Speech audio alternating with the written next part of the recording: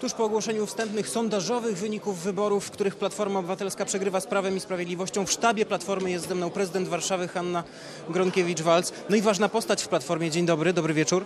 Dzień dobry. Pani prezydent, kiedy pani poczuła, zdała sobie sprawę, że Platforma nie wygra tych wyborów? Dziś dopiero czy wcześniej? Ja wie pan zawsze wierzę w sondaże. Ja jestem w polityce już 20 lat i, i w związku z tym uważam, że one e, pokazują wyraźnie drugie miejsce przy różnicy co najmniej kilkuprocentowej, a też i kilkunastoprocentowej. W związku z tym e, pod tym względem byłam przygotowana. Chodziło o to, żeby mieć jak najlepszy wynik i on mógł być gorszy. To znaczy te 20, 1 czwarta elektoratu, która na nas głosowała, e, to jest e, wynik, powiedziałabym, który nie jest złym wynikiem. No oczywiście każdy chciałby wygrać i mieć jak najwyższy wynik. Co było największym błędem w tej kampanii? Mi się wydaje, że to jest raczej kwestia, po pierwsze, przesunięcia się zdecydowanie opinii publicznej na stronę prawą, to widać.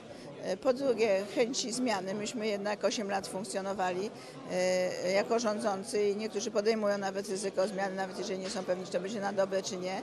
E, I myślę, że to jest, ale żeśmy podejmowali też trudne decyzje, to znaczy spod- przedłużenie wieku emerytalnego, zmiana w systemie OFE, z kolei obniżenie wieku dla sześciolatków. To są takie społecznie wrażliwe były decyzje i nie wszystkim się podobające, ale w imię odpowiedzialności i naszego długofalowego myślenia o państwie, żeśmy te decyzje musieli podjąć.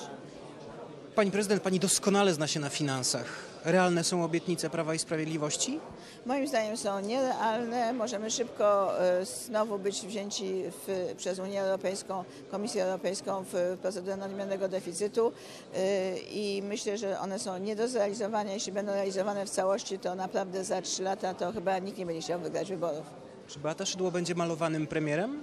No na pewno, to widać e, od razu, e, że boi się sprzeciwić e, prezesowi i po prostu, jak jeśli mówi, że prezes ma zawsze rację, ja nigdy nie mówiłam, że Tusk ma zawsze rację i często z tym się kłóciłam.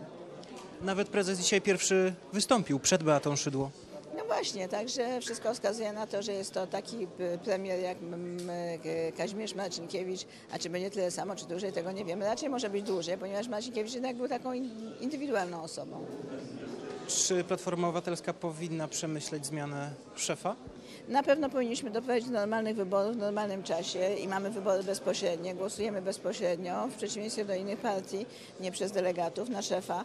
Yy, Natomiast teraz nie widzę potrzeby do robienia nerwowych ruchów, zwłaszcza że powinniśmy pokazać, że jesteśmy zwarci i gotowi do twardej opozycji.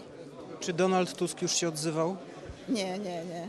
No myślę, że on jest w Europie dobrze. Mi się wydaje, że, wasz, że Europa naprawdę e, e, ma, ma szczęście, że ma osobę zupełnie z innego regionu. inaczej Nie dzwonił do premier, do pani. No mi nie dzwonił, tak, tak. Sejm bez lewicy mamy na koniec, chcę To dopytać. jest ciekawe zjawisko. Pierwszy raz od 25 lat mamy Sejm bez lewicy. Nie wiem, jak to będzie. No, może jeszcze wejdą, może mają 8%, no. I 1, 8 i 1, zobaczymy. Mają sześć z kawałkiem według sondaży, więc Z kawałkiem A. To ciężko będzie, tak. To rzeczywiście to interesujący przypadek. Chyba nie, w sumie niedobry. Powinna być lewica, szerokie centrum i prawica. A prawica jest bardzo duża, zjadła centrum i, i, i lewicę. sześć i sześć mają. Dziękuję bardzo. Dziękuję.